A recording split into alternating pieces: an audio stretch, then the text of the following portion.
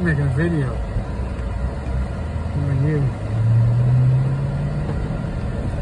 Actually, you think about it, video is the way to go because then you can freeze frame it and do screenshots.